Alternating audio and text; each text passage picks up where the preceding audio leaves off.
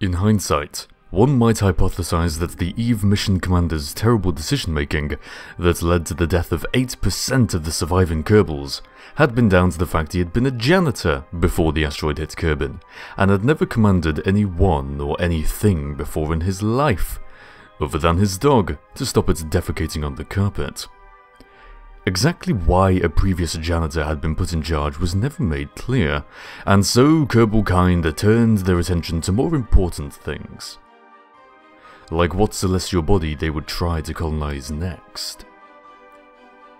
Ladies and gentlemen, welcome back to the Kerbal Space Program Last Project. I think it's been a little while since I clarified this, but this isn't the last thing I'll do on YouTube, you know. It's not like my last KSP project. The intention behind the title, The Last Project, is simply, ooh, drama! In a nutshell. So, welcome back to Ooh Drama, the series in which I will be uh, using only what we have in orbit in order to try and colonize every single celestial body in the Kerbal solar system. And in the first episode of this, we uh, put together a ship. In the second episode, we took that ship out to Eve, and we failed to really... I mean, nah, we didn't fail, did we? We colonized Eve. Eve is technically colonized. There are now four Kerbals alive on Eve somewhere, which counts as being colonized in my mind. We're just trying to place Kerbals in every celestial body, right? Yeah? So, we've done Eve. We might go back to it if we feel that we have chance, but for now Eve is done, ticked off the list. Where are we going next? Well, what I've got here, as you may have noticed, I undocked two transfer engines, because I like to try and waste as many resources at once as possible, following the tradition started by that first episode. And I've got two of these transfer engines docked together.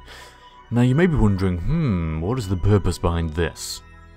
Are you going to construct two individual ships at the same time, try and save some Delta V maybe, going to similar locations? No, I'm actually going to have one ship, it's just going to be double barreled. It's going to have two fuselages, you know, two main bodies put together. Because the acceleration of these engines is so slow, even when I've got two of them on one transfer stage, that having two transfer stages together to give four of them is probably preferential for what I want to lift. And there's also another reason. And here we are having docked and done our orbital maneuvers, and we're now transferring over to our landers as our first station, our first aisle in the shopping market. Yes, yes, I haven't forgotten that particular analogy. The other reason is that I don't want to have to waste so many landers when there's such a high chance that they'll all break, and that, you know, like 50% of them might die before they actually get to do anything, based on how well our survival rate has been so far, based on our track record.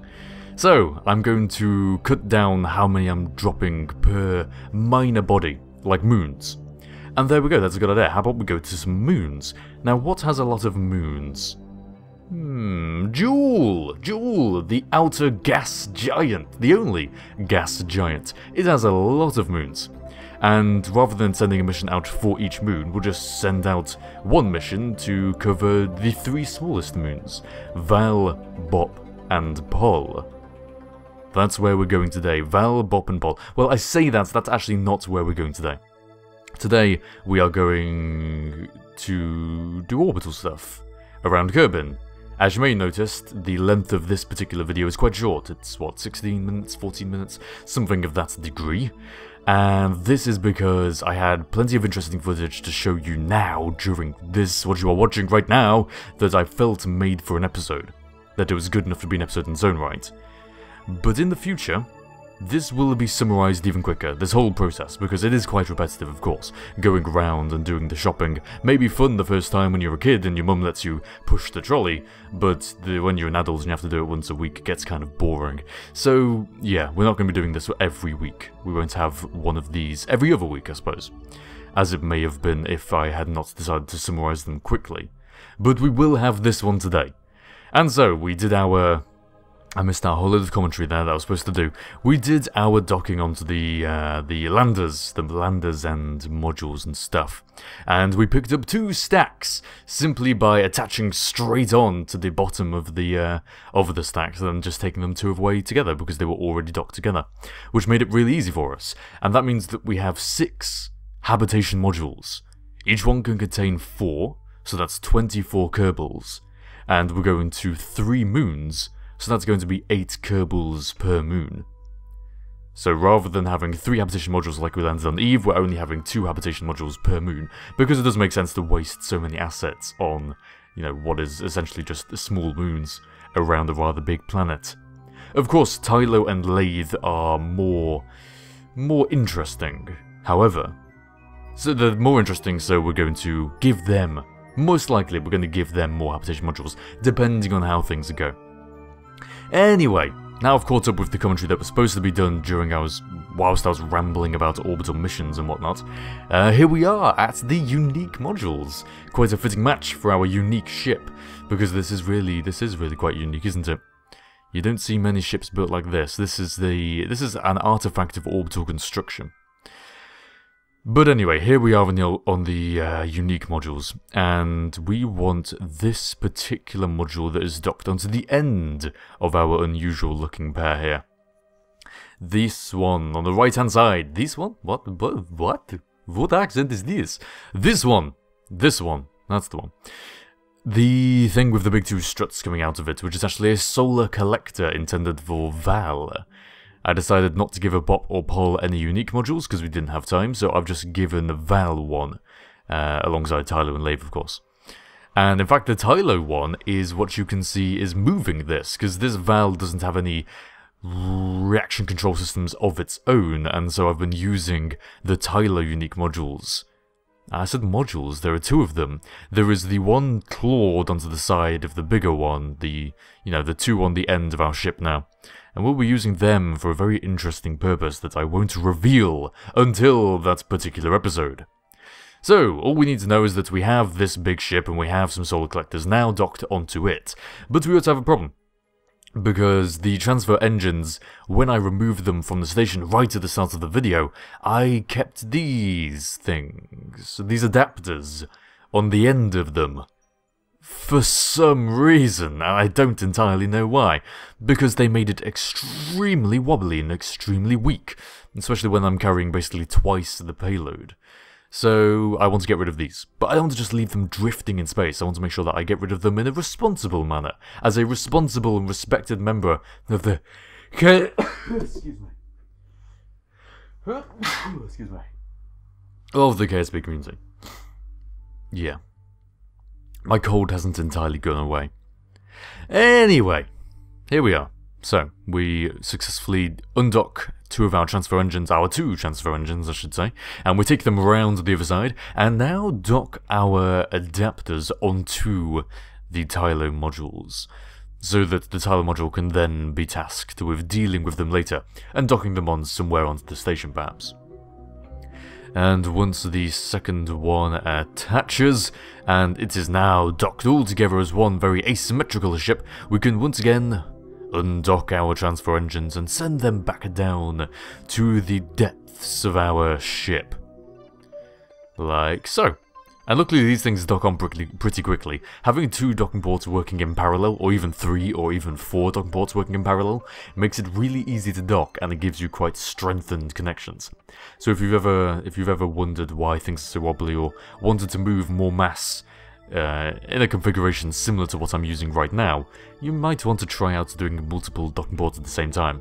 It can be tricky because you've got to make sure that your orientation is lined up correctly. The construction specifics are quite, uh, quite important. But you can help by setting them as I have, because I've got two stacks together, which by nature means that they are parallel, as they are docked at the same relative node points on either end of the stack. But anyway, it's kind of hard to describe exactly what I mean, so I'll just skip over that detail, and hopefully you caught a bit of that, if it interests you. So, we take our Tylo module, equipped with our extra four uh, adapter port things, and I am just going to bring them in and dock on one and a half of the Tylo modules. Because the Tylo has the Tylo thing has two modules and they each have a purpose and they have claws, and that should make it immediately obvious what they're intended for but I'm not going to tell you because I don't want to spoil it. So anyway, we can take one over half, and it was originally docked on in order to move this big, heavier Tylo section, and as a result it can now dock back to where it was, and the claw thing can float gently out into space, and then be translated over to dock onto the side of the ring. The big ring, which is intended for Moho, which we might well do in a few episodes' time, who knows. And it can be reattached like that. Everything is sorted! Basically, the unique module station is just missing a middle part that we cut out of it, and the um, our new ship has gained a unique module and lost some unnecessary transfer engines. Or transfer, not engines, transfer adapters. There we go. And it's all rather pretty, isn't it? Look at that view. I do stop to admire, admire the view sometimes. Really. It is worth doing. But anyway, what's more important and what's certainly more worth doing is of greater value to our mission is actually gaining some crew members to put inside our landers. Because we haven't got them. They don't come already equipped with land with uh, Kerbals. As you might imagine, their torch might already come equipped with batteries. It's much very the same kind of battery Kerbal in there. So we can time warp around and we can once again admire the view of our ship before arriving after some intrinsic is intrinsic is the wrong word, but it sounds sophisticated, so I'm going to use it after some intrinsic orbital ballet. What does intrinsic even mean? Intrinsic. Intrinsic? I'm going to Google it right now. I'm going to attempt to com to commentate whilst Googling. So yes, we are uh, we are docking things together intrinsic definition. And we have pulled up alongside, we've pulled up our ship alongside our 100 Kerbal station, or more accurately, our 92 Kerbal station, seeing as 80% died. Actually, no, no, it's not 92, is it? It's, um, we took 12 Kerbals out. It's now the 88 Kerbal station. need to carry on counting down. 8 are dead, 4 are on Eve, 88 Kerbals remaining. Intrinsic definition, belonging naturally, essential. Intrinsic orbital, yeah, intrinsic orbital maneuvers make sense because it's essential. An example would be access to the arts is intrinsic to a high quality of life, just how access to HOCgaming's YouTube videos is intrinsic to having a happy life. So anyway, we can dock on our our modules onto our 88 Kerbal station, and we can use the new 0.25 feature to actually transfer Kerbals through, as opposed to getting them out into deep space and then making them use their own RCS packs to uh, to move over to that uh, to our module we have here.